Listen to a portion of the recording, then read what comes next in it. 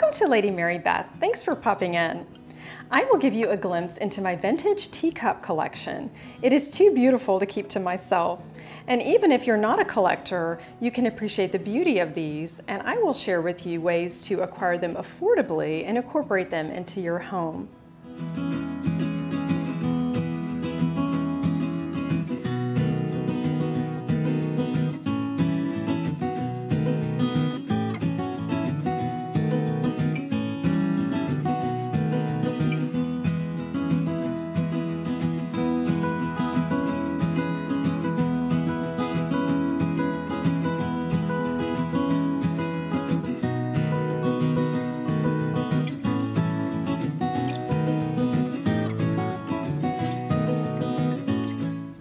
This antique English barley twist cabinet is perfect for housing my teacup collection. I feature this in the entryway of my home in close proximity for serving in the dining room, and we can enjoy these. This is a special cabinet to me. My parents acquired it some years ago by way of England, and my mother later shipped it to friends in South Korea for the opening of their antique shop. And many years later, it arrived unexpected in a wooden crate on my doorstep via airmail. And I was able to start a new collection and still have this wonderful piece to remember my mother. The barley twist started in the 1600s in England and it got its name from the barley sugar twist. You'll see at the bottom they have that design feature and the pretty beading. I just love it. When I see it in period dramas, I get so excited, it makes my heart sing. I love the barley twist. And the shelves are very shallow, which are perfect for teacups. So let me show you inside. It's so much fun to collect teacups. They're very affordable. They don't have to match anything else that you have. And if there's a particular pattern that you've admired over the years but don't want the whole place setting, then you just find a teacup and you can always have a piece of that pattern. I wanted to show you this not only because it's beautiful, but because I accidentally left the price tag on the bottom. This was $9.99 and it's the Dresden Flowers pattern from Bavaria. I have no idea where I bought it, but I did see the price on the bottom and obviously I haven't used this one for company. It's so pretty. So for $10, you could start a collection. And I have teacups from five different countries. That was not done purposefully. I just simply took a look uh, to get an idea. Uh, Japan, England, Germany, the United States, and France.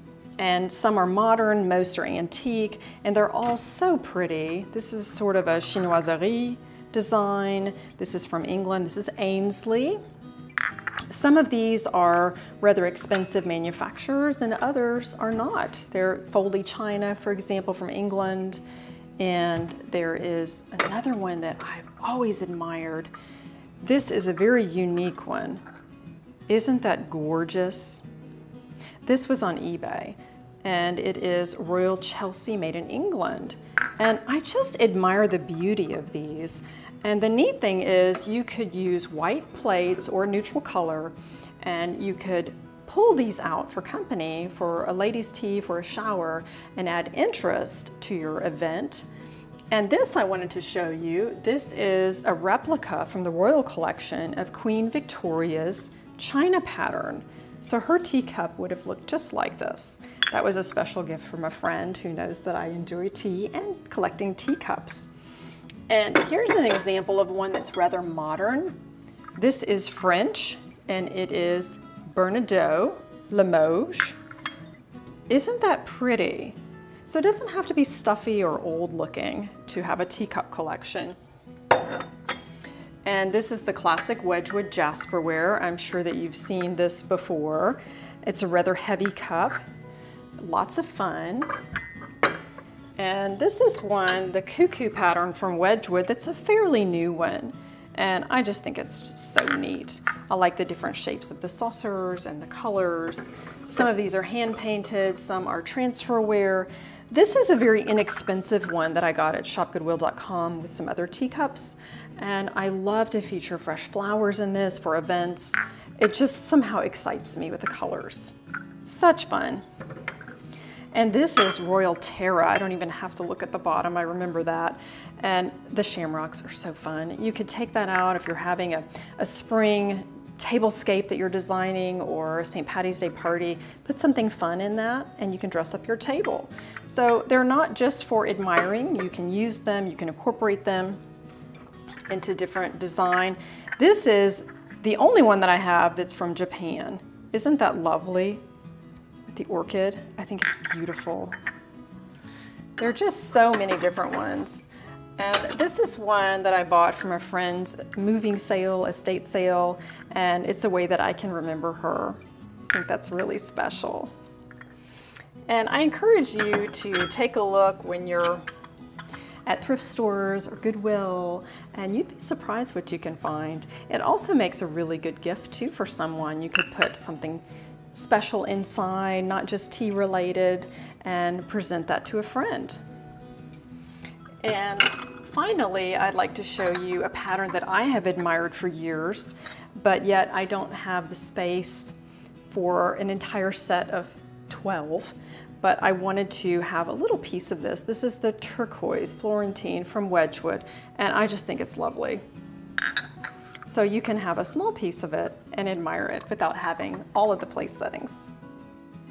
Some of my favorite places to acquire vintage teacups are eBay and shopgoodwill.com, along with Etsy. You can also check local antique stores and thrift shops. The most important thing is it should please you, something that you find interesting. And be sure to look at the mark on the bottom so that you can learn a little bit more about the teacup. Most of mine tend to be made in England or in Germany. Finding teacups at thrift stores or online is a fairly inexpensive way to start a collection, and with two or more, you've already got a collection of your own. And you don't necessarily have to feature them in a teacup cabinet. You could put one on a bedside table for a guest or just keep one to put your jewelry in. There are many different uses for teacups and I think they're really pretty and it reminds us of days gone by. Get inspired to find simple ways to beautify your life and tea table. Thanks for joining Lady Mary Beth. Please hit like and subscribe. I hope to see you next time for more lifestyle tips.